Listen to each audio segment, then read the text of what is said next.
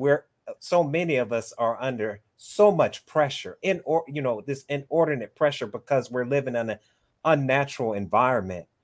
Can you can you tell us how we can first prevent ourselves from slipping into an, an unhealthy addiction or a bad habit?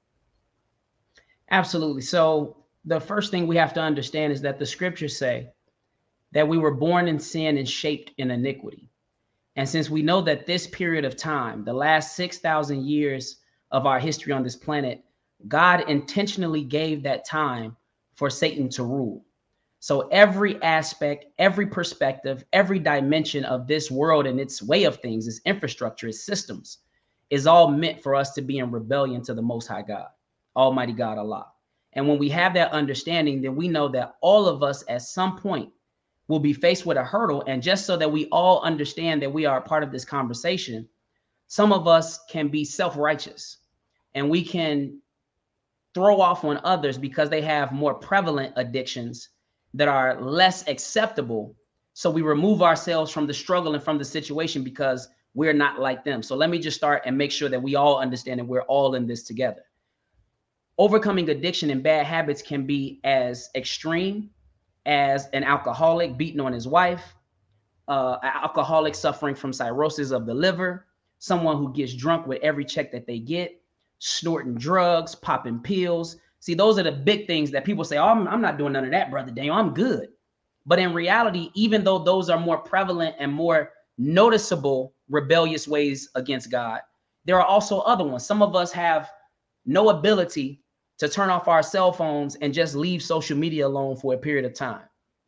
Some of us can't not eat three, four, five, six, seven meals a day with snacks in between.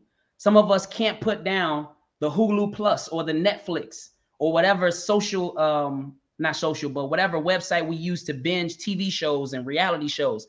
All of these things are hindering us from recognizing our true divinity which is to be children of the most high God or images of God himself.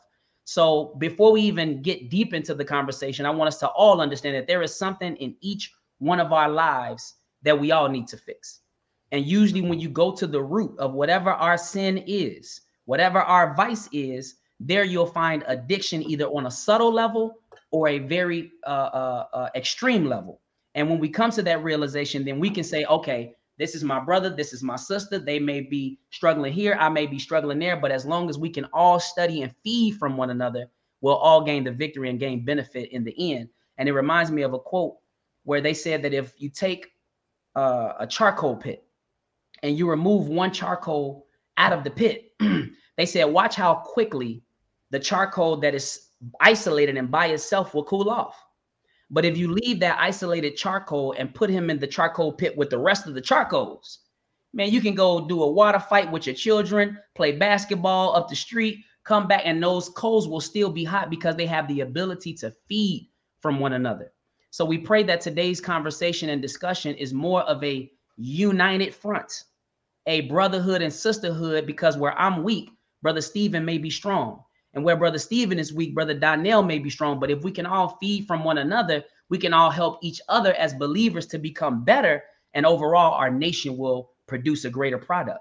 Um, so I just wanted to put that out there so that everybody yes, understands, not for yes, somebody sir. else. Yes, this sir. is for me. This is for you. This is for all of us because we all have something that we're facing.